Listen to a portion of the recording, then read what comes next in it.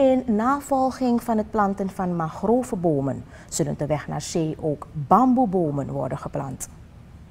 De bamboebomen moeten voorkomen dat het overtollige water van de Atlantische Oceaan de omliggende gebieden niet binnendringt. De bomen zullen worden geplant door het Mangrovenforum Suriname onder leiding van professor Siwnat Nepal van de Anton de Kom Universiteit. Het ministerie van Openbare Werken ondersteunt het project, zegt minister Riyad Noor Mohamed, die zich woensdag persoonlijk heeft georiënteerd in het gebied. We gaan gewoon die pilot starten, want zo moeilijk is het gewoon niet. We gaan eerst die pilot vandaag een start zijn geven. Dat is dat wij, um, het idee is om langs de weg uh, bamboe te gaan planten. En bamboe is zeer stevig. Uh, bamboe gaat ervoor zorgen dat je weg gewoon niet meer weggaat.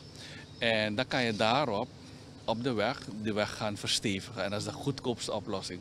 Dus in plaats dat te gaan bekleden met beton en geweldige stenen, heb je dat niet nodig. En dat is wat men noemt een, uh, zeg maar een groen-grijze dijk. Dat is wat, wat, wat het betekent. Dus dit is een, gewoon groene oplossing, heel goedkoop. Uh, en het heeft voordelen voor uh, het klimaat.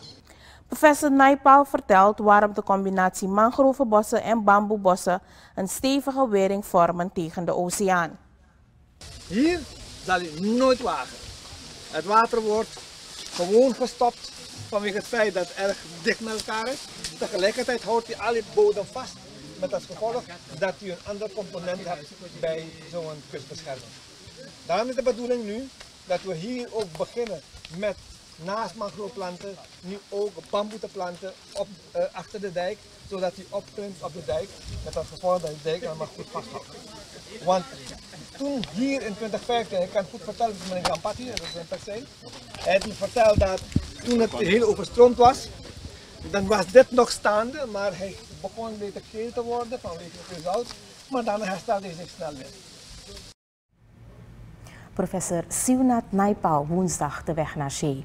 Er zullen bamboebomen worden geplant om het woongebied beter te beschermen.